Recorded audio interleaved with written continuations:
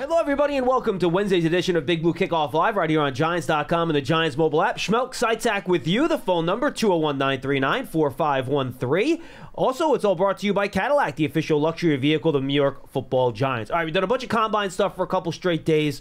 Uh, Matt will give his quick take on that today, and then we are going to do a deep, deep, deep dive into free agency. Uh, it might go a little long, folks. I'll apologize ahead of time, but we will get to your calls as soon as we possibly can. Mr. Citak, how are you, sir? I'm good. How are you doing? How I'm was, great. How was Indy? It was fun. It's one of my favorite weeks of the year. Get to talk to a lot of people, learn a lot of stuff, see these guys up close, get body types. Fantastic week. Loved it. The cocktail sauce at St. Elmo's still is like I remember. I'll tell you, they juiced it up this year. Ooh, wow. I remind me when the show's over. Pearson, or who's usually produces, he's off this week. He did his first dabble in the cocktail sauce this year. I have a video. it's hilarious.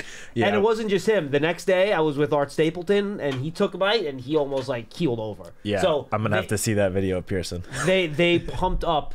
They pumped up the spiciness this year. All It- It, was pretty good. Looking right. forward to it next year. Before yes, before we do for agency, uh, give me your quick take on, on the combine. Yeah. So there were three things that really, I guess, stood out to me. And apologies if you this was spoken about the last couple of days. Uh, first, just quick hat tip to Xavier Worthy for setting the new 40 record. Very impressive. Kind of fast. It was fine. pretty fast. And he could also run routes. He's Yeah, an interesting good prospect. player. Second thing, and this is what I actually wrote about on yesterday for yesterday's cover four, which is up on Giants.com, which was I thought the two players that might have helped themselves the most, maybe not the most, but helped themselves greatly, JJ McCarthy and Michael Penix. I mean, JJ McCarthy, we'll see where he actually ends up going in the draft, but there's buzz now that he could go as high as the fourth pick with the team trading up to Arizona at four in order to get McCarthy there. I'm not sure if that was so much himself helping himself at the combine or the media catching up with what front offices were already thinking. Yeah, that that could be true. It's just the buzz that came out of Indy No, was no that 100%. he didn't do anything to hurt himself at while in Indy. He, you know, apparently interviewed well from the reports that I've seen, threw pretty well. Yep. So he helped himself, and same goes for Michael Penix. But I think the biggest thing for him, and Ian Rapoport tweeted this towards the beginning of last week, was that he cleared all of the medicals, where it got to a point where Rapoport tweeted, there's zero concern at all about his previous injuries. He has an extensive injury history. So again, just something that I thought was was interesting from the week in Indy. We'll see if you know between the medicals and his throwing, if that can push Penix into first round, or if he's more of a day two, second round pick. Only time will tell. And the very last thing that stood out to me was, and I'm sure I'm sure you've seen this. This went viral. Rome Odunze. What he was the last person on the field during the wide receiver drills when the wide receivers were out there running drills. Everyone else was gone, in, going into the locker room, and he stayed out on the field because he was determined to get a six six on, I believe, it was the three cone drill. Without knocking that third cone down. Yeah. and he just, I don't know how many times he tried it, but he was the last person out on the field. I think it was eight, I heard. I think he tried it eight times. Yeah, so I mean that just shows perseverance, not willing to give up, trying to fight for, you know, something he wants to accomplish and considering he's a prospect that a lot of people, you know, around NFL media world believes the Giants could be interested at number 6, I just found that very interesting and something to me that I found to be very appealing in a prospect. Coaches are going to fall in love with that guy. Uh, from the size to the, checking all the athleticism boxes. That, but everything you hear about him is a personality in terms of his approach and all that sort of stuff and how he's going to meet with teams.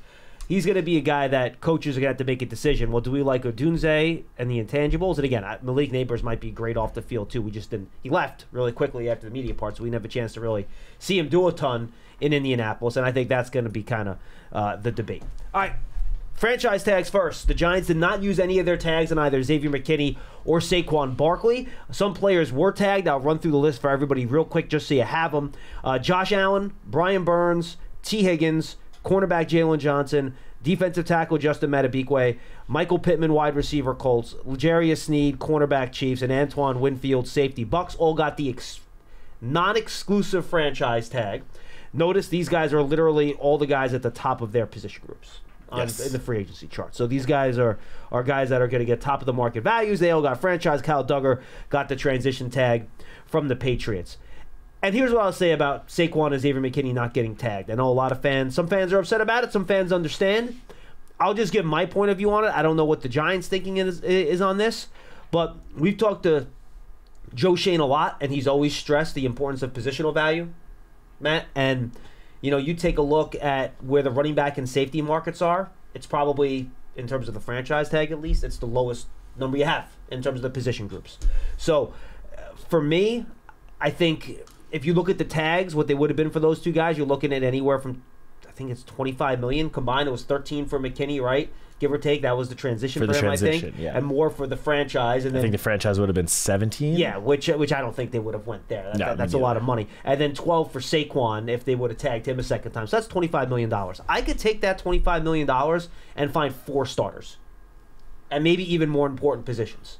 So remember, it's not just you don't have those guys. Well, then now you have the money you would have spent on those guys to spend elsewhere. And that doesn't mean one of those two guys might not be back next week when they go to the market and come back and they Very sign for a contract and you can get the cap number down a little bit to manage it a little bit easier. That's very possible. But I just think there's ways to spread that money around without locking up that type of money for one year. And you can say, well, you tag them with the intention of extending them. Well, what happens if you can't come to a deal? Like last year with Saquon. Bingo. Then you're stuck. And yeah, the Giants have a lot of cap space. The cap went up, you know, 30, 40 million, depending on what number you want to use. That's a lot of that cap space if those two guys are tagged, right? So, I know you can't tag both of them. I get that. But I just think when you take a look at it, it gives them a lot more flexibility to spend that money where they want in free agency rather than getting it locked into two guys at two positions that are not considered premium positions. Yeah, and you also you brought up you know the Saquon situation last year. The Giants, in a sense, kind of got lucky that Saquon showed up on the first day of training camp. Yeah. they had that restructured one-year deal. He signed it and was there for the first day of training camp.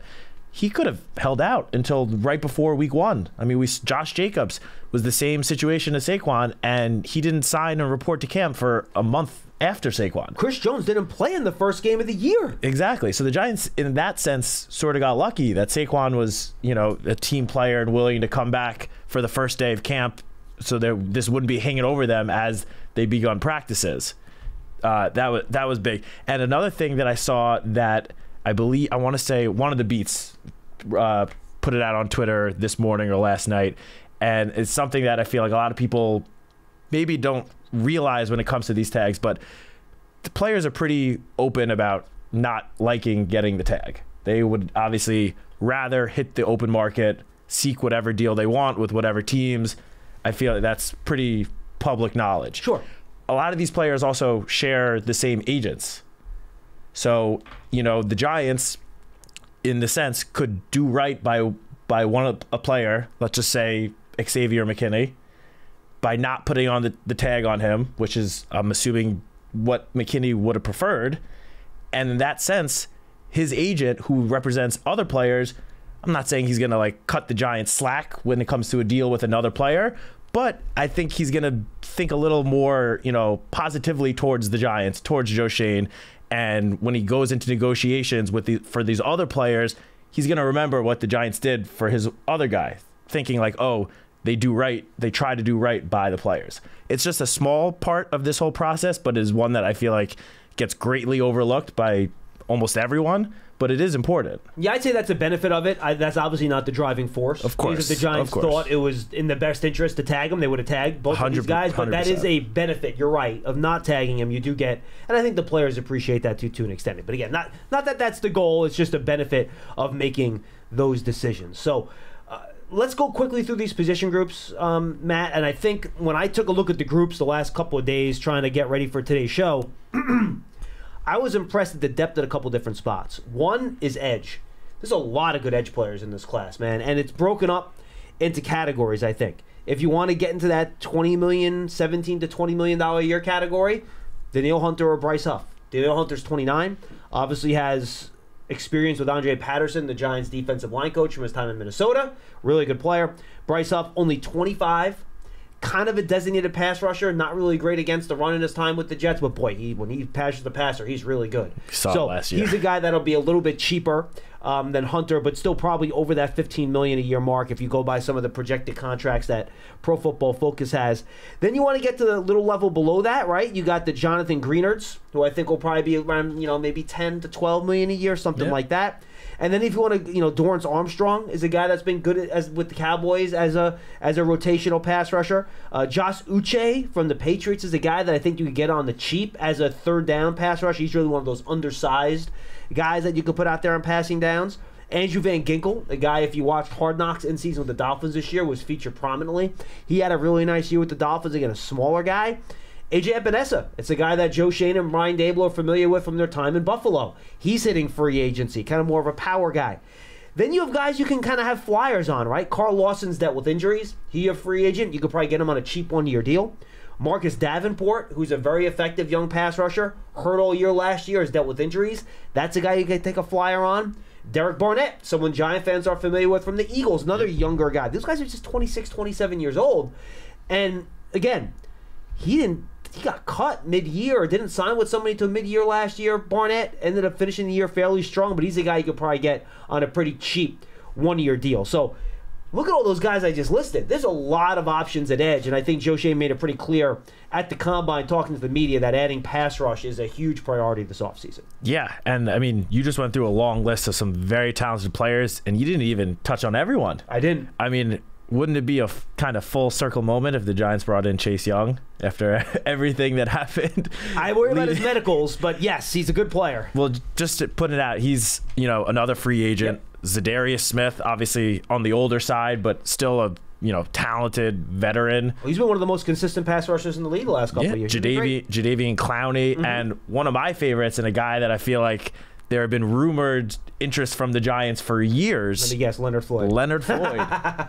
you got it. the rumor that won't go away. Seriously, I mean, since the, what was it, the 2017 Yeah, draft? it's a long time. there, I feel like every other year there's been a rumor of the Giants having interest in Leonard Floyd. How But- about he's 31 already? I couldn't believe it when I saw I he was that. 31 already. It seems like he just came out, right? That's It's crazy. But even at 31, I mean, he had, I believe, nine and a half or 10 sacks last year. He's had around 10 sacks the last couple of seasons. Still very, very talented guy. And again, wasn't even mentioned on your list of guys. Yeah. That just goes to show how deep this position is in free agency this year. The Giants have a chance if they decide they want to address the edge position in free agency. They have an opportunity to add a very talented player to the rotation of Kayvon Thibodeaux, Azeez Ojulari. But that's the problem. It's a, right now it's a two-man rotation. Yes. There's nobody else on the roster. Jihad Ward's a free agent. I guess Tomon Fox is still in the building, right? But I, I th- I think- believe, I I believe believe he he's on a reserve futures deal, right? Yeah. But there's just not a lot of bodies out there No, right now. I mean they're so, going to need to add bodies to the to that group. Hundred percent. So I imagine they'll be active in at, at some level with those guys, and I could be convinced on a lot of them. Um, to be honest with you, so that's interesting. Looking at the Oh, defensive, before you sorry, Yes, before you go back, just one other guy, Denico Autry. Yeah, he's Just because he's experienced with uh, with our new defensive I'm coordinator from the Titans. 34 by the time the season starts. I don't know if that would be you know the big edge signing, but Right. if they want to just try to add some depth to the group, as we said, they need more than just one more player added to the group. That's just someone I think potentially keep an eye out. If you can get him on the right deal, I think Yeah. that's fair. But he was an effective player in Tennessee. I just didn't list him because of the age. Yeah. 33 is That's long fair. in the tooth, but agreed. I think that's a good connection to make. I'm with you on that. Defensive tackle uh, Christian Wilkins surprisingly did not get franchised by the Miami Dolphins. He's at the top of the market. Uh, to me, that's going to be too pricey. I can't spend 20. But he's going to make 20 to 25 million. I can't Yeah. do that for another defensive so. tackle. Yeah, no, really good player. Leonard Williams is probably going to get more than 15 million a year again. I don't think I go back down that road, but you could. I know they liked him here. He's a good player. You never know. Never say never. And he he's only 29. you know, we talk about Leonard Floyd shocked he's 31. I feel like Leonard Williams has been in the league for 10 years. Feels he's only like 29 been years old. forever. I, I think he got drafted when he was 20. I think he was one of those guys that got drafted Yeah, very I young. think you're right. But he's only 29 years old. So um, Sheldon Rankins, I think, is an interesting one. He's only 29. He's that kind of three technique. Uh, Teair Tart, two other guys I'll mention. Teair Tart, former Titan. Mm-hmm. The problem is that he was cut by the Titans last year, late in the year. He had a really good year two years ago. Clearly, he didn't come to terms on a contract, so I think that was an issue. But he got cut by Tennessee, so I don't know what Shane Bowen thinks of him after having a rough year with the Titans last year, but someone to keep an eye on. And then the other guy I'll mention is Daquan Jones, who was having a really good year for the Bills last year. Obviously, there's familiarity there with, with, with Joe Schoen and Brian Daboll to an extent. 32, a little bit older. But if you don't have to pay a lot for him as a situational three technique pass rusher, he was having an excellent year last year. I think he got hurt the week before the Giants played the Bills, actually. I think it was right before the Giants Bills right. game. And he's still a very effective defensive tackle. So those are some tackles that kind of popped out to me. Yeah, uh, just to add a few more, Grover Stewart from the Colts Yeah. had a pretty solid the year last year. He served a, I believe, a six-game suspension during in the middle of the season, but when he came back, he was, you know, very very solid. Uh, there are a couple. there's one Eagle guy that I always pass on the list. You that can't there's, sign Fletcher There's Cox. no chance. You no, I know. can't do it. There is no chance. Player, but you can't do it. You can't do it. honestly, it would be nice just to get him out of Philly. Yeah, but- right. You just sign him so you have to play against him, right? That's not bad. uh, another guy, Javon Kinlaw. I know he hasn't he hasn't performed that well. He was on my hasn't list. I just up, didn't. I just didn't. I didn't say. He hasn't lived up quite to the hype the last couple years, but uh, there's a lot of just pure athletic talent in that guy. and only 26. Only 26. I mean, No. could be worth taking a chance on a guy like that. Th- that's a flyer, right? It's Yes. Like, right, Oh, for sure. Here's three, four million for a year, and let's see if we can turn you into something. I'm Yeah. with you on that. Maurice Hurst is another guy who's always been hurt, still young. If Yep. fans remember him, he's the guy that had the heart issue heading into the draft that year. He ended up being drafted, I believe, in the fifth round by the Raiders, if memory serves me correctly. And uh, he's had a lot of injury issues throughout his career. But that's another guy you can kind of take a bit of a flyer on. Yeah, and DJ Reader as well, but I think he's going to be a little too pricey. He's also more of a nose. He's 330. Yeah, I think he, he- he's a already little have- repetitive with him. We already have a pretty good nose tackle. I'm going to skip inside linebacker. One guy that I saw that I liked was Frankie Luvu. I think he's a good player. Maybe if you want, if you need a third linebacker, I just don't think that's a huge need. They have uh, two young guys that are under contract in, Yeah. in McFadden and Okereke, so we'll skip over that. Uh, cornerback, I think, is fairly deep too, Matt. To be totally honest with you, and I think it's a, more outside guys than slot guys this particular year. But I like targeting slot players in free agency because they tend to not make as much money, and you can get guys for a little bit less.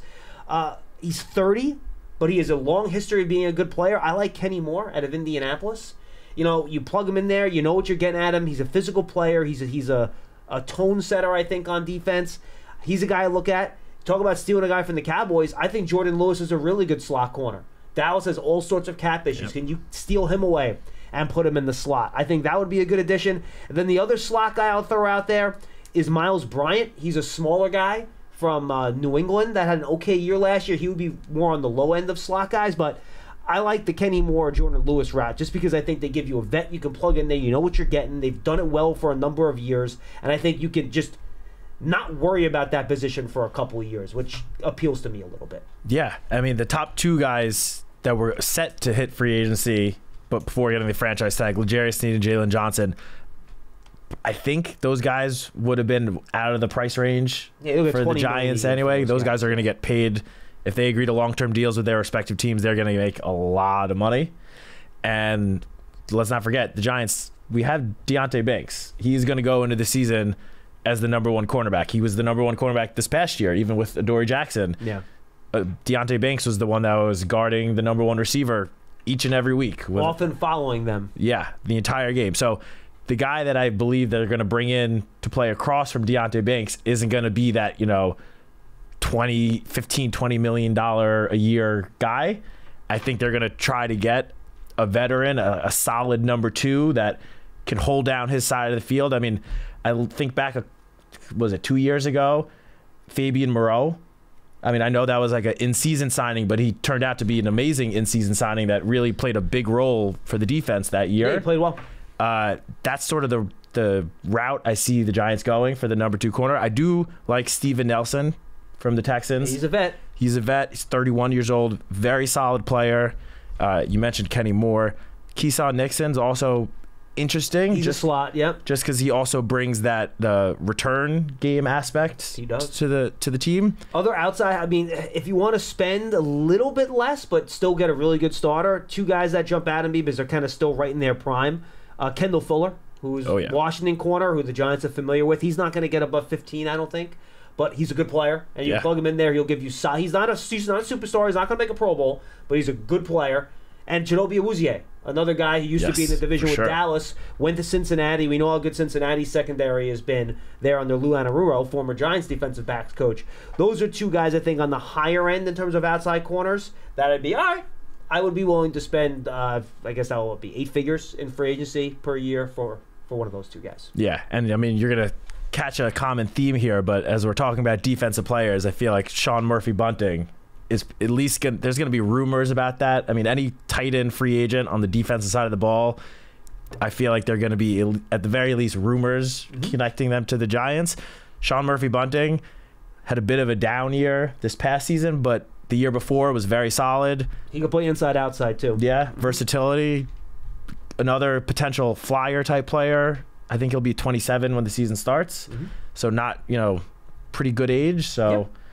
just another guy to keep an eye out Uh, for. Dane Jackson from Buffalo, 27 year old. Again, the, the Joe Schoen connection there. Keep that in mind. And then there are a couple younger guys that were high draft picks that haven't really worked that well. That if you want to take a flyer on them, like a Jeffrey Okudah is a free agent. Mhm. Do you want to bet on talent there and see if you can turn him into something? Kristian Fulton, another Oh, yeah. guy um, from the Titans, I believe. Correct, Kristian Fulton. If Yeah. I'm not mistaken. So another connection, younger guy, didn't play the best in Tennessee, but he's a guy maybe you can get on a, on a pretty good deal if you want to try to develop him into something. Rock Ya-Sin, Amik Robertson, two other younger guys too, if you want. And did it come out yesterday? The Jaguars cut one of their corners. Darious Williams, I believe, Yeah. right?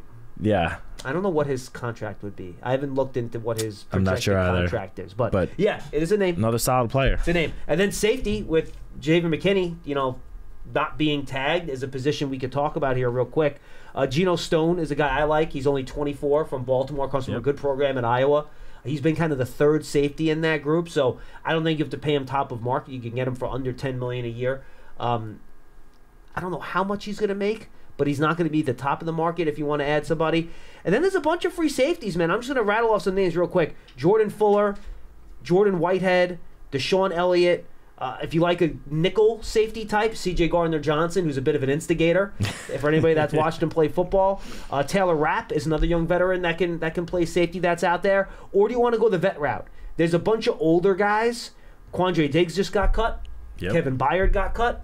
Eddie Jackson from Chicago is a free agent, and Micah Hyde from Buffalo is a free agent as well. So if you're looking for, I think a stopgap, that would probably be like a one, two year deal type thing where you plug them in, try to help teach the defense, and kind of be that calming factor in the middle. Those are some of the uh, veteran older guys that I think could be good players. Yeah, no, very good list of veteran safeties this year, this offseason. Just two more to add. Yeah.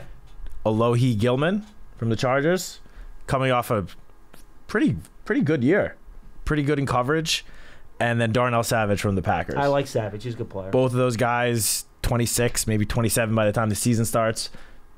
Pretty young age though for a second contract. Could play well if if this Xavier McKinney signs elsewhere.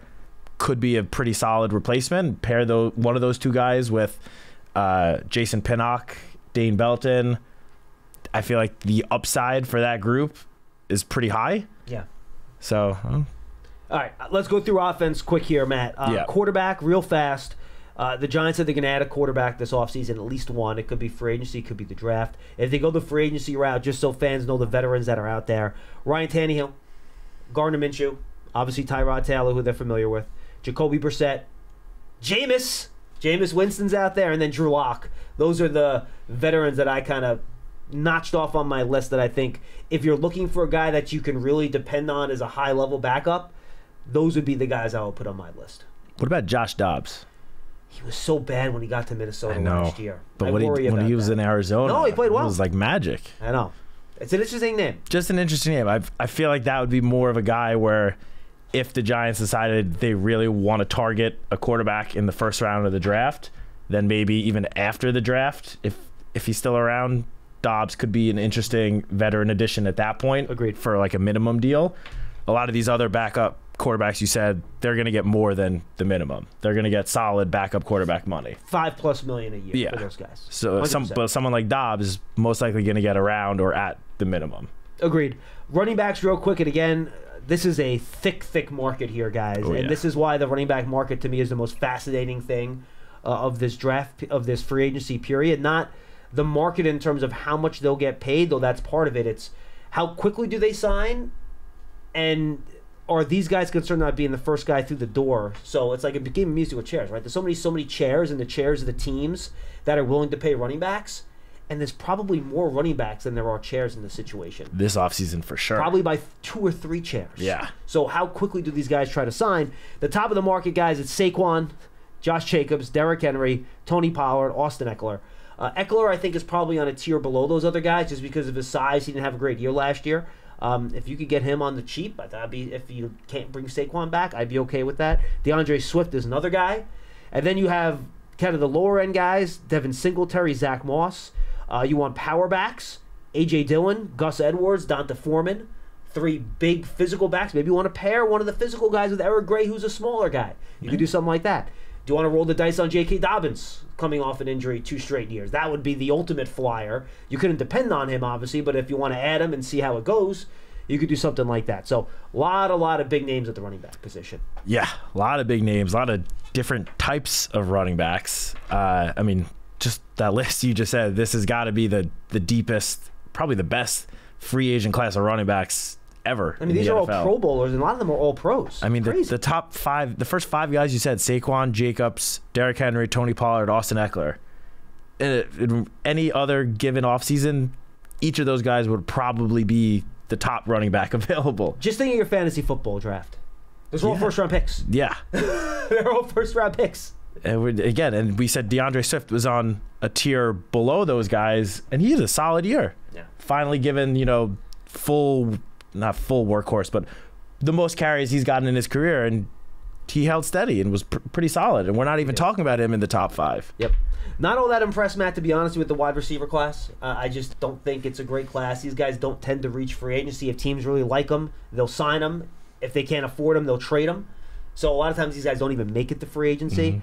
I still think Calvin Ridley has it to be a number one wide receiver in him. I think he's a really good player. He's interesting though in terms of the contract and the past and the Yep. history, what teams decide to do with him. And then you got a bunch of role players: Gabe Davis, Darnell Mooney, Kendrick Bourne, who's coming off an ACL, KJ Osborn. But to me, and I don't see the Giants going to the top of the market to sign a guy like Ridley. I just don't think that's something they're going to do, given how deep the draft is at that position. The Giants have a bunch of guys that are like Davis and Mooney and Bourne and Osborn. I don't need to add another one of those guys, right? Hyatt's here, Robinson's here, Darius Slayton's still under contract.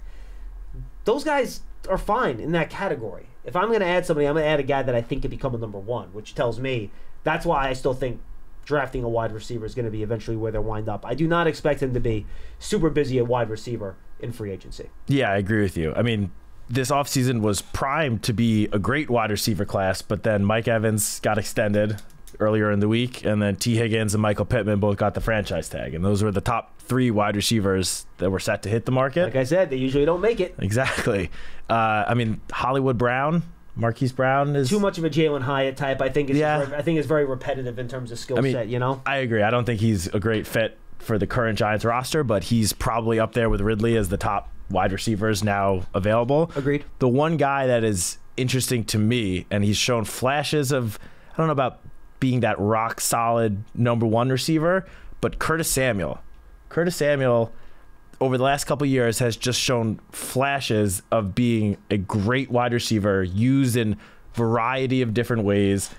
Just with how creative Brian Daboll and Mike Kafka tend to get or like to get on offense, depending on the contract that he's looking for, that is the one guy that I would be, if the price is right, interested in bringing in and adding to the fold. a little duplicative to Wan'Dale Robinson for me in terms of how you want to use him in the slot, Yeah. use him as a gadget guy, hand the ball off to him, use him on screens, things like that. You know, to me, it would almost be replaying the Parris Campbell experiment, right? Similar oh, yeah. type of players, Yeah, and I'm just not sure you're going to be able to get him on the field because you want Wan'Dale Robinson out there as much as you can, right? true. So I'm just, I, I agree. Good player. All right. I think he'll be a good signing for somebody. Not sure with Wan'Dale here that's necessarily a fit, but good player. And um, you're right. They would they would find a way to use him if he Yeah. got here. and He'd be a good player.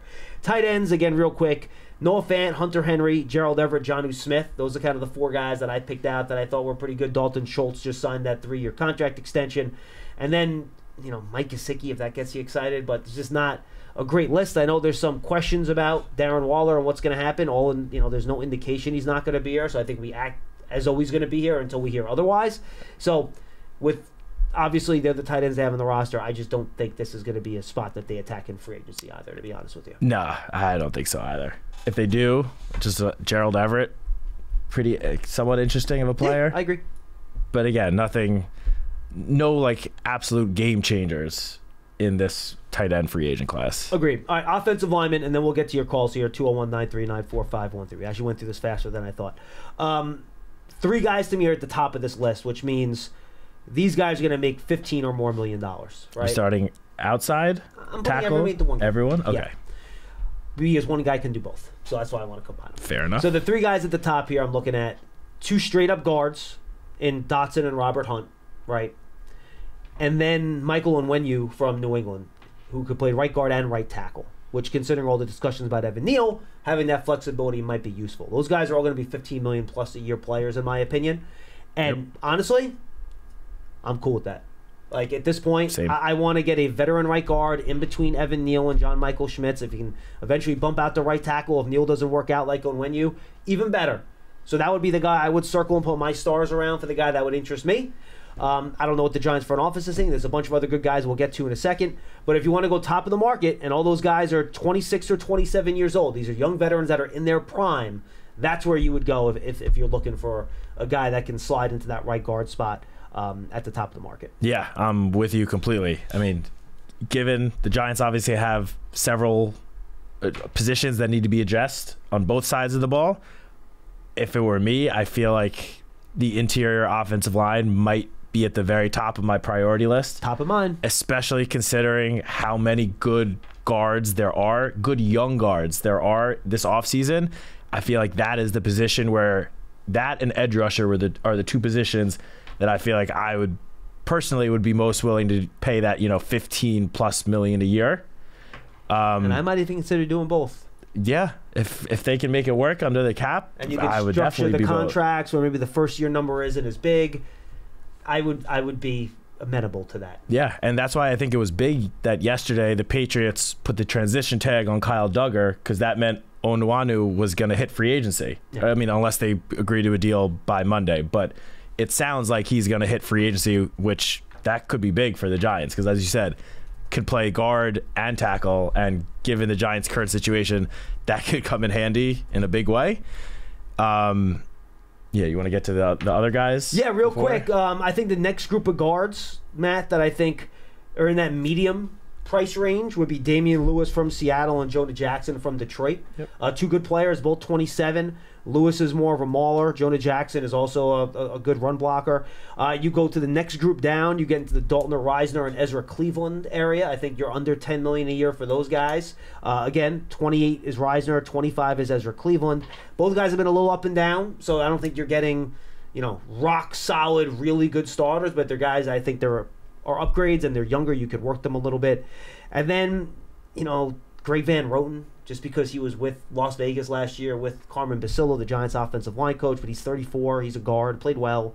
Uh, John Simpson from Baltimore is just 26.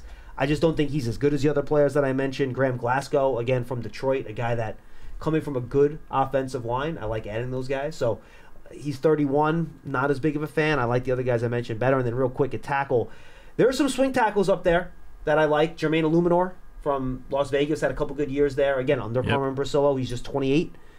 29? What do I have written down there? I think, that- I think that's a 9. Um, and then George Fant, not to be confused with Noah Fant, who's been a right tackle in this league for a long time. Solid backup. He can swing both sides.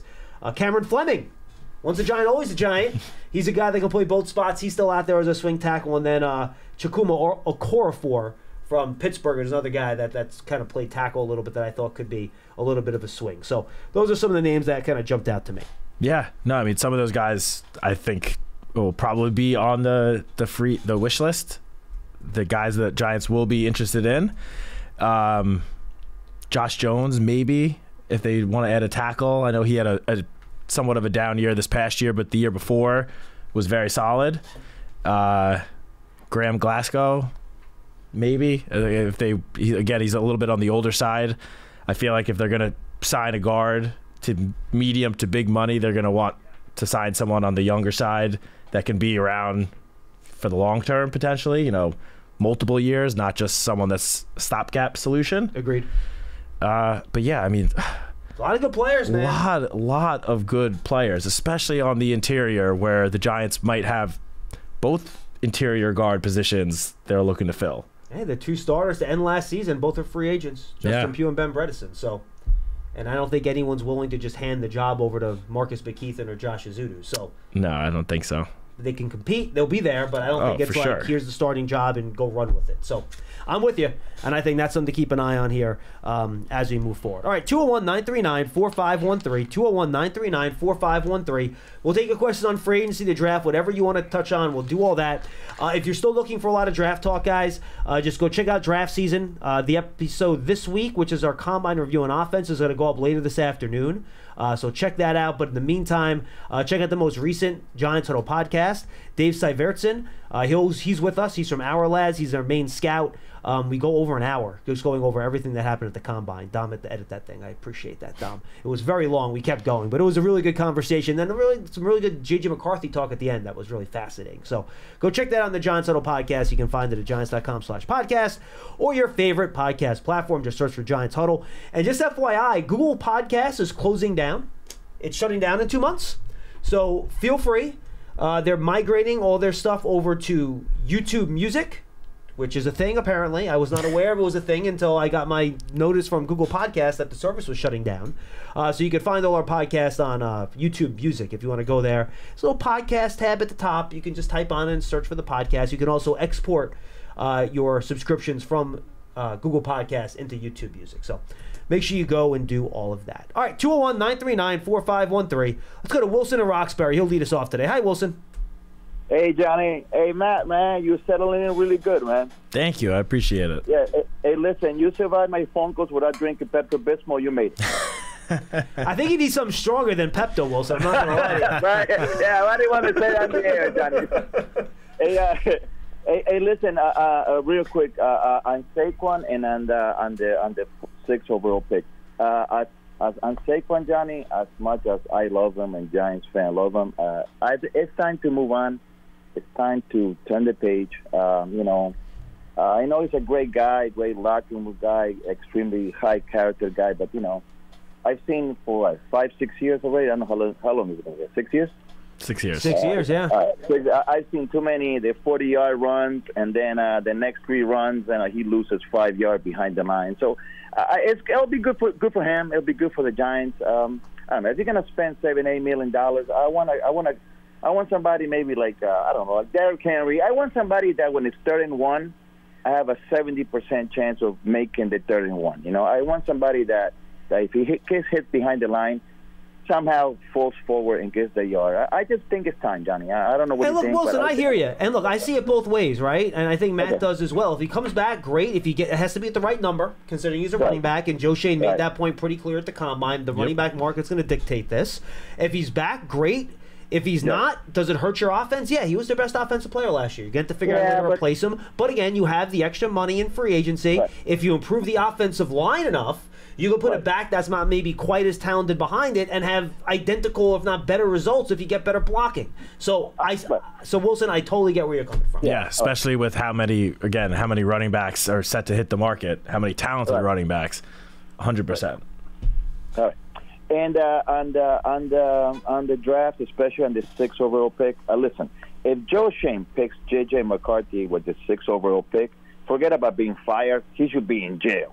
I mean, it, I mean, come on. man. I mean, these these are the same guys, the same people that are talking about J.J. McCarthy, Johnny and Matt, are the same people that had Malik Willis going in the top ten couple couple of years ago. I don't think I it's mean, that crazy. I don't think it's that crazy, Wilson. Uh, you know, Malik Willis ended up being a day three pick, and you know, he Yeah, was- right. And, and, and, and look, JJ McCarthy has had a lot of success in college. I think he's a much better Well, college quarterback. I understand. Johnny, but but Johnny, you, when you play at Michigan, it's like it's like it's like when you play in Georgia. I mean, the quarterbacks in Georgia look like uh, you know Joe Montana, and look what happened to what was remember that guy? Uh, uh, uh, what I forgot the guy's name that won like two uh, two national championships in a row, and he ended up with the Chargers. He wasn't even drafted. All I'm saying is this: look, I said this to you a million times. I think we have a franchise quarterback in Daniel Jones. I think drafting a quarterback is a mistake. If they somehow decide that Daniel Jones is not our guy, then it tells me two things. It tells me that the Daniel Jones contract was John Mara's doing. I, I know you said it wasn't, but fans like myself, that's what we're going to get out of it. And then we that, that's a problem on its own. But if it's not, Yeah, but if it but if it was John Mara's doing, and again, this is I, I I'm just going to indulge. I know you said- no, I no, know no, you Ro- Wilson. Let me just finish. I'm going to indulge in the conspiracy theory for the second, even though it's nonsense. If it was John Mara's doing, would he then let him then move on from Daniel Jones this year? You know what Well, I'm saying? so if he's controlling everything No, and he's the mastermind, master, But- puppet but- master, but- why would they let him do it this year? no. Bec- okay, well, Johnny, I, I don't. But then, then why? Then, then you can't draft a quarterback with the sixth overall pick, Johnny. Then, and if you do, and if you, if, and if they do, listen, if they change, okay, forget about that. Let's say they change their mind and they say, you know what? Maybe we made a mistake, whatever. We don't, and we're gonna draft a quarterback with the sixth overall pick. That's fine. I think it's a mistake, but that's fine. But they, then you got to ship Daniel Jones to the Raiders for like a fourth round pick because you cannot have both of them on the roster. It's just not. This is not 2018 when Jordan Love was behind Aaron Rodgers. You pick a quarterback with the sixth overall pick. He's got to start right away. You got to pray to God that he's the right guy. Otherwise, you won't be here anyway. And that's it. You can because I'm gonna get, play a little game with me real quick. Yeah. Let's say you pick a quarterback with the sixth overall pick, and I, the other day you said that you didn't have a problem with that quarterback sitting down, right? Okay. For for I- I- part of the season, not for the whole season, Oh, okay, and not for multiple years, but for part of the Oh, oh, season, I have no problem with it. That's fine. Okay, but listen to me. Play with me real quick. Let's just say Daniel Jones balls out. And I'm going to live a little, and I'm going to say he goes 11 and 6, and he makes it to the NFC Championship. Not the Super Bowl, because I'm not going to go crazy. Okay. The NFC Championship. What do you do the next year, Johnny? That's what a do you great. do? That's a great problem to have. Wilson, Johnny, Wilson. but you can't. What? Wi- Okay, go ahead, Matt. I'm sorry, man. Go ahead. with that exact scenario, we literally saw that the last couple of years in Green Bay, where they drafted Jordan Love and Aaron Rodgers went and won back-to-back MVP awards. Yeah, yeah, but and then when Matt, Jordan uh, Love when Jordan Love finally started, he had a great rookie year. Now the Packers are thrilled that they did that. Matt, listen, that happens once, once, and probably a thousand. And and and in NFL You gave this a scenario, Wilson. That was your scenario. Don't blame us that, for the but it's not- scenario. but, but but but it- but this is but you can't, Johnny. But that's like a hundred years ago in NFL years. You, you cannot do, but you can't, but you cannot go. You cannot go on in a season thinking like that. I mean, that doesn't happen that often. I mean, I'm just saying that the sixth overall pick, it's got to be an impact player, one way or the other. That's all I'm saying, Johnny. You cannot just pick a, a quarterback and have him sit for a year because you know what's okay. And then what happens if Daniel Jones starts and he throws the first interception in Giant Stadium? The whole stadium's gonna go crazy. No, So that, that'll happen. You're right about that. That'll happen. You, you have to have self-discipline but- and you have to be patient. You have to do what you think is best for your team, the players, and the organization. And you have to let right, the but- craziness of the fans wash over you, and you can't let it affect your decision making. But it ha- but but eventually, Johnny, listen. This is New York. You, you know that the fans affect a lot of what everybody does here. All I'm saying is, Joe Schoen's stubborn, man. He's he said it himself. Joe, Joe, All right. Joe Schoen and Brian Daboll are right. stubborn dudes, and I, I think in a good way. All right, listen. Uh, uh, before I get off real quick, Yes. I just want to ask you, you and Matt, uh, because I don't want to talk about draft anymore because it, it, it, it's a crapshoot anyway. But let me ask, right now, Johnny, today, Yes. the sixth overall pick, and you too, Matt, who the Giants picking? I think they. If I had to guess right now, and all it is is a guess, I would say they'd walk away with either Rome Odunze or Malik Nabers. I would say the That's same great news. same exact What thing. about you? Same Who- thing. Who's that, Matt? I would have said the same thing. One of those two receivers. All right, good, good. So then, so then we'll give. And, and listen, and I don't mind a quarterback in the second round because the second round pick is it, it is what it is. I mean, you, you, if you're lucky, you hit it. If not, it doesn't kill you. But all right, good. All right. So I, I think so too. I think uh, I'm thinking either that or, or an offensive lineman. No defense, no defense, no pass rushers, none of that. Because I know you don't like me saying this, Johnny, but I, I think I think Evan Neal and uh, and uh, and Kayvon Thibodeaux to me w- were not good picks. I said that to Paul the other day. He almost wanted to reach to the television and strangle me, but that's what I. Sounds right. I li- all right, listen, thanks, Checks thanks, guys. All right, Thanks, thank you, guys. Wilson. Appreciate it. That doesn't surprise me. I think Paul would reach through the phone and strangle you a little bit. That's not surprising. Definitely would try at least. Look, Wilson, I, I get where you're coming from with with the quarterback at six, and the question the Giants have to ask themselves is whoever that quarterback is, is he that much of an upgrade over Daniel? where they think it's make working, worth making the pick or trading up for the pick. That's a decision you have to make. Is it enough of an upgrade that you want to make that decision? Because if you don't think from a talent standpoint is that much of an upgrade, you don't do it. No, of course not. But one thing that Wilson seemed to harp in on that I just want to touch on, I feel like if you quizzed all 32 or polled all 32 general managers and said you could draft a quarter a rookie quarterback in the first round and have him sit for a full year while still getting solid quarterback, solid to good quarterback play from whoever is starting, I feel like most GMs would sign up for that in a heartbeat. Like I feel like the ideal scenario is to let the rookie kind of get the feel of the NFL while not having the pressure of being the starting quarterback until he's got a little more experience and you know seeing the speed of the game getting all the practices in I agree with that. I feel like they'd prefer maybe not a full season as you said, but I feel like at least like half a season if you're still getting good quarterback play from whoever is starting. I feel like most, if not all, GMs would sign up for that. Yeah, and I don't think Joe Schoen would. Oh, Joe Schoen has said that Daniel Daniel Jones is going to be, if he's healthy, he's going to be the starter week one. Yes, he's said that directly, very clearly. He just is. And that doesn't mean if they draft a quarterback high, that guy's not going to be the starter by the end of the year. We don't know the answer to that question, obviously. But guys, it, remember, no one's winning a Super Bowl in a rookie quarterback's rookie year. CJ Stroud is literally the best rookie quarterback in the history of the sport. I'm not that that's not hyperbole. The best rookie season for any quarterback in the history of the sport. Maybe Robert Griffin III is a close second when he had his unbelievable, but that was more running than it was throwing. Yeah. And they got to what the second round of the playoffs. So, guys, the, the rookie of their quarterback is a learning developmental year anyway. Especially if you're talking about JJ McCarthy specifically, he's a guy that's going to take some time now. Yeah, he Wasn't just just turned do a ton 21. at Michigan. Just turned 21 years old a month ago. Correct.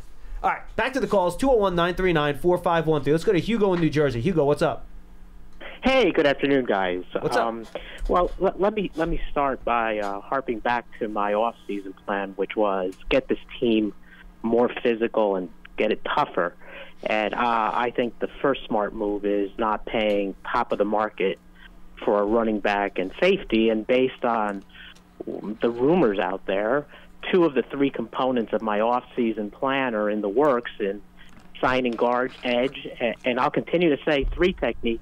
Would love to have Christian Wilkins and John. I know you keep saying you're going to have two guys making more than twenty million dollars, but that's exactly what we had uh, last year after uh, Dexter's contract was done because they had Leonard Williams and and uh, and Dexter. Well, yeah, yeah. Eventually, Yeah, but Dexter's contract hadn't kicked in yet.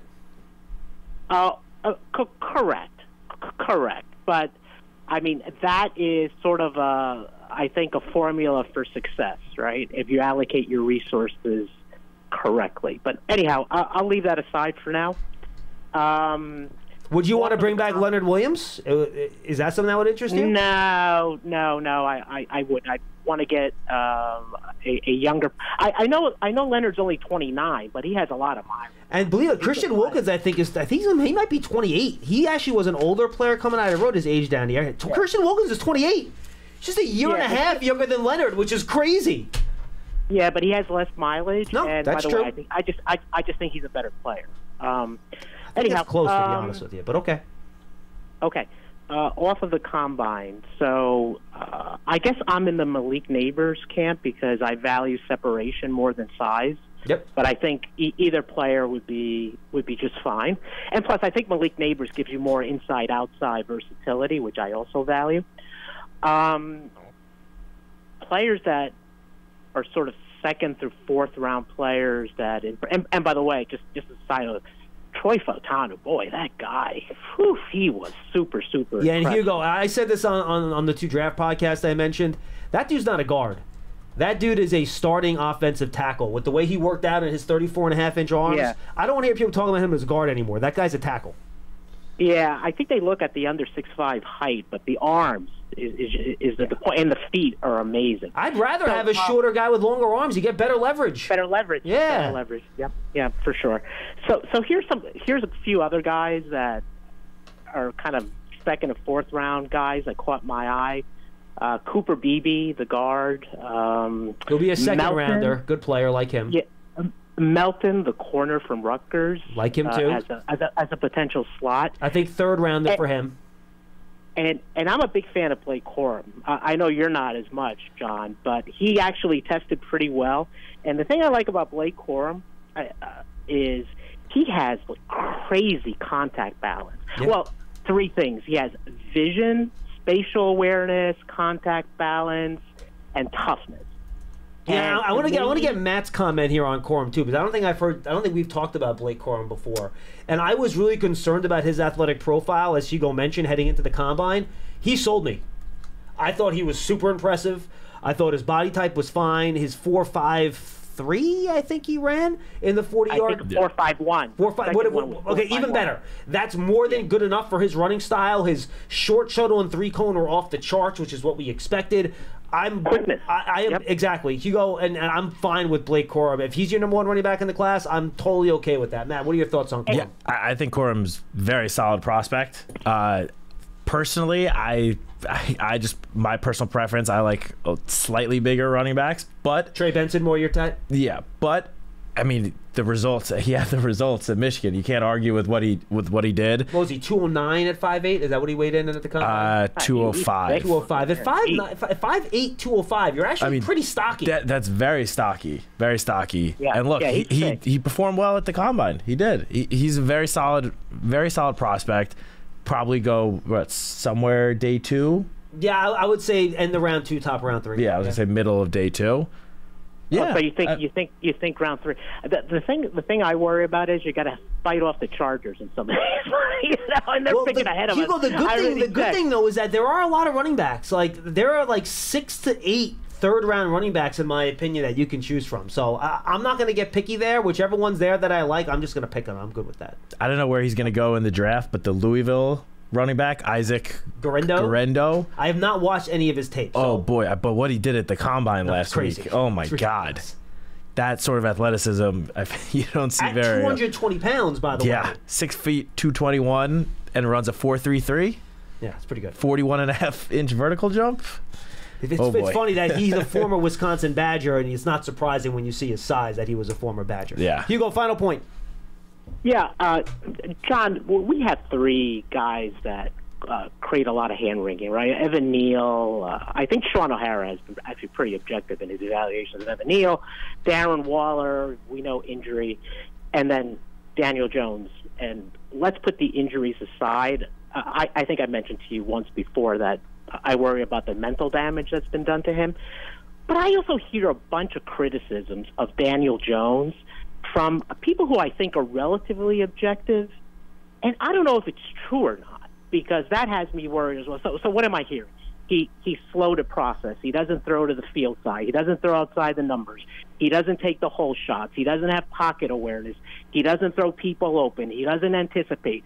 These are these things made up. I mean, I would love.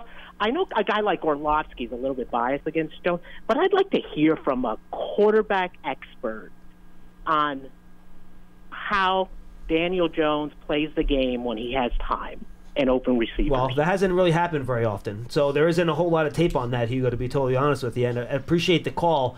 And the problem, and I'm almost giving up on doing it just because I think it's hard from our perspective, Matt, to determine how well a quarterback processes just from watching them without knowing what the play is, what their design progression Yep. is. Now, former quarterbacks have a much better chance at doing that, right? for sure. But like, I don't know if you saw Kurt Warner tweeting about evaluating college quarterbacks last mm-hmm. week. Even he's like, guys, I, I, I, don't know how they're processing. I don't know what they're being asked to do. This is a freaking Hall of Fame quarterback. Yeah. So am I arrogant enough where I'm going to try to determine whether or not a guy can process by watching him without knowing what they're being taught in the meeting room? I, I- I'm just not willing to go there. I can go by results and, and what I see. I mean, is is Daniel Jones Joe Burrow from a processing perspective? Probably not. Few are. That's why Joe Burrow is Joe Burrow, right? But Hugo, to, to answer your question, I don't know the answer to that. I, I, I'm not a good enough evaluator to to be able to tell you the answer to that question. I feel the same exact way. I forgot who it was, but there was some, you know, reputable NFL reporter or analyst that yesterday uh, on maybe it was on ESPN, one of one of the segments said that he doesn't think Caleb Williams should start at all his rookie season. That he should take a full year sitting behind the bench because he doesn't think that Caleb Williams' game is going to translate well to the NFL. And I only bring this up because Caleb Williams is the number one pick, the consensus number one pick, the consensus top player in the draft. And even he has guys out there, draft analysts that are paid to, you know, critique or analyze prospects, analyze NFL players. And even he doesn't think that Caleb Williams will be ready to play as a rookie. And that's a guy that everyone seems to be on the same page about across the NFL media landscape. So, point just being is, I'm with you 100% that I, I don't know enough about what Daniel Jones is learning, what he's being told to do, what the playbook says to be able to say, like, he's doing X, Y, and Z well and ABC poorly. Right. In, in terms of the stuff that's happening in the meetings and processing, it's just too hard. Like, we Yeah. can see if he misses a throw. We can see if he holds the ball too long and gets sacked. Like, that's the stuff we can see, right? There's other stuff that I think is just really hard for us to make that judgment.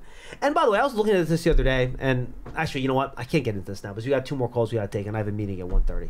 But I know people said Daniel Jones was, like, terrible to start the year. He played three bad games. Yeah. So you made a decision over a five-year body of work, and you played three bad games.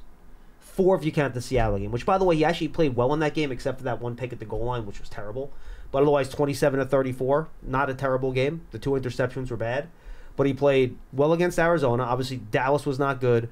The Niners were not good, but again, that's two really good defenses, and he was under pressure. And then he played barely half a game against Miami, and he barely played half a game against the Raiders.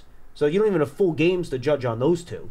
You want to put them together and count those as one game because it's kind of two halves. Fine, we can we can play that game. So you're looking at what four bad games then? And even the first two that you mentioned, the Cowboys game obviously was bad all around, but it was pouring rain against one of the best defenses in the NFL, who jumped out to an early lead and just from playing from behind against that team in those circumstances, that was going to be tough for any quarterback. And then in the And then the Niners again, one of the best defenses, made it all all the way to the Super Bowl. no Saquon, no Andrew Thomas, Yeah, so I'm with you. and he I'm got with you. sacked ten times against Seattle. Ten. I remember that was Ten. that was something. And again, we're not telling you something that you know we're not trying to tell you he had this great year and he was fantastic, but you just have to understand the circumstances here. And when you make that sort of decision and a commitment on a player, I think it's hard for you know three or four games to completely flip people's mind on us. Like I said yesterday, Paul Schwartz said this on our show at the Combine. I think it was accurate. The Giants would they always be looking for uh, an upgrade at any position? Sure, but are they desperate for a quarterback? I don't think I would term them as being desperate. yeah, I They aren't the I the Falcons. same way. They aren't the Raiders, yeah. right? Where they have no one in the building where they think can start. It's it's a different situation. Yep. I know fans don't want to hear that, but again, I'm a guy that's open to it. I've been talking. If you listen to our draft coverage, guys, talked about quarterbacks with all the guys we have on. I'm open to the to, to the idea, but that's just kind of how I feel about it. Anyway, all right, we got two more calls. We got to squeeze in. Randy in California, and then James will take you last. Randy, what's going on? Hey, buddy, I'm trying to. I'm not trying not to take too much time, so I'll make it kind of quick. That way, you can get to your meeting. Thank you. um, hey, uh, my question is: Is there a guard or a tackle out there you try to go out and get in free agency and fix the off- offensive line? Because it doesn't matter what receiver you get or quarterback you get, you're going to be running for your life anyway. Yeah, and I So think unless I- you can I- solidify solidify that line, what is this all for? We need to get the best guard and tackle we can get and try to fix this thing. Otherwise, we're going nowhere again. yeah, and man, I Anyway, think, I'll let you go, and you have a good day, brother. I appreciate Thank you, Randy. Appreciate Thanks, you coming Randy. all the way from California. It sounds like he's on his way to work. Maybe it's a little early. Nine thirty there, 10, uh, 10.30. He's probably 10:30. at work already by now. But um, we look, we mentioned him, uh, Michael Onwenu from New England. It's a guy that can play right tackle, right guard. I think he gives you uh, insurance with Evan Neal, and he gives you a guy that you can plug in a right tackle and start right away. Yeah. I mean, we had the whole list also of just of pure guards because Yeah. again, looks like the Giants probably will need to add two starting caliber guards, whether it's free agency or the draft. We went through the whole list before, but there is a very good, deep crop of free agent guards this offseason. And remember, these guys can all extend still between now and the start of free agency with That's their true. team. So some of you guys might not end up hitting free agency. There's still four days for that to happen. Yep. So something to keep in mind. And again, uh, the negotiating process begins noon on Monday, and then the league year is four o'clock on Wednesday. Yes. So that's and that's when these officials uh, signings can become official. James in Georgia will wrap us up. James, what's going on? Hey, what's going on, guys? Um, I had a couple, but I'll save it for the two that I should have got to yesterday. What y'all talking about rumors that you heard at the combine? One thing that was floating around by a reputable source you know, Rich Eisen, who most people would say is reputable. A clip is out there that said he heard the Giants have buyer's remorse, this and that. That's why they're looking into a quarterback. And again, that was know, that and- was something he said. James was a rumor, Yes. not something he was reporting. Exactly very, what I was gonna say. Right. That clip, Right, right, that right, clip has but gone. he- That clip has gone viral, but everyone seems to be forgetting. yeah. He he prefaced the whole segment by calling it By- this is- rumors, not This is reports. the scuttle. This is the scuttlebutt that we heard at the combine, Right, and, and- it was one of the most. You know, you could take it with a grain of salt, but I think uh, sometimes people are like, well, these reporters and things like that aren't just saying things just to, you know, I don't know, get the get the ball rolling. And again, I mean? James, I, I talked to a bunch of people out there too. Um, people told me the Giants were open to a quarterback, much like we've been saying here. Uh, no one has expressed it quite as vehemently, in private even, as Rich Eisen described on his show. That's Right, all I right, can right. tell you. And uh, my, my last thing is y'all had great coverage. Um, and uh, uh, one thing a good critique about was that the coaches weren't at the combine, and I just feel like Joe Schoen. You know, you can give him your your shopping list. He go buys the groceries, and you make the. You know, Brian Daboll makes the dinner when he gets back. Is the kind of relationship they had going on at the combine. I mean, Giants. no, look, if you James, Giants, Giants on that. coaches, Giants coaches were there.